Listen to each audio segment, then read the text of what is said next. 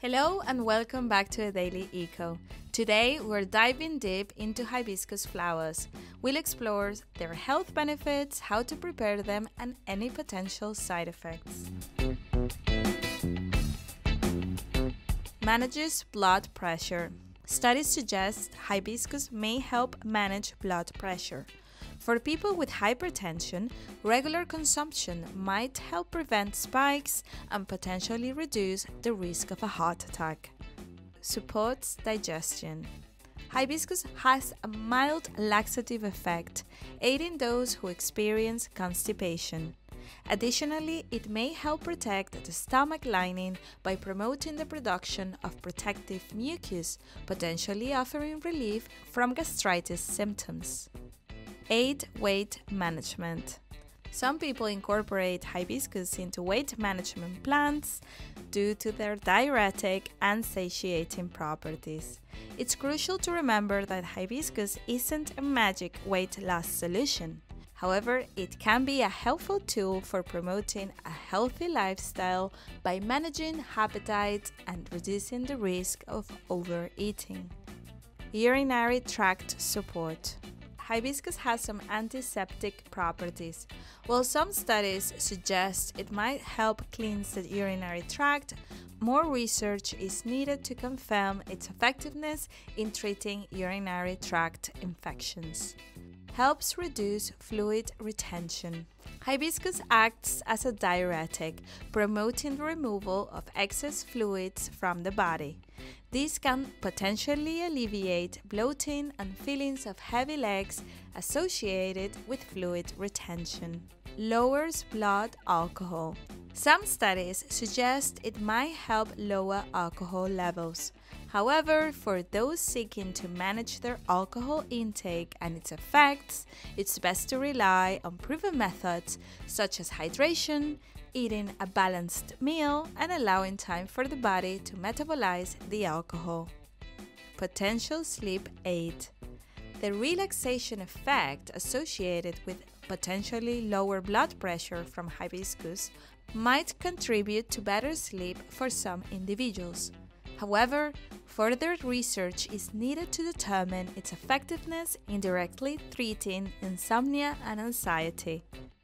Immune system support.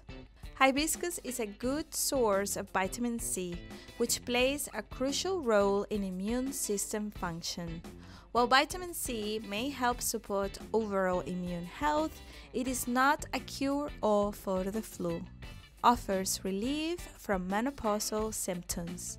Early research suggests that hibiscus might offer some relief from menopausal symptoms like hot flashes and bloating due to its potential antioxidant and anti inflammatory properties. But before we continue, let's put you to the test. What is the scientific name of hibiscus? Hibiscus sabdariffa, Rosa gallica, Jasminum officinale, Lavandula angustifolia.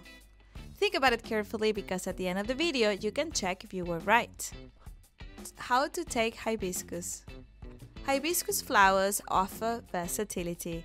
You can enjoy it as a tea, which is the most common form. Prepare a hot or cold infusion by steeping the dried flowers in water. For a refreshing drink, add sugar or other sweeteners to taste. In some regions, hibiscus flowers are used in jams, adding a unique flavor profile. Hibiscus can even be cooked like a vegetable, acting as a meat substitute in tacos or stews. Contraindications and side effects. While hibiscus offer potential health benefits, there are some important points to remember. For example, Pregnant and breastfeeding women, as well as those planning to become pregnant, should avoid hibiscus consumption. Hibiscus may also interact with certain medications, so it's always best to consult your doctor first. However, hibiscus is generally safe for most people. The important thing is to consume it in moderate amounts, which is around 3 cups of tea a day for up to 6 weeks.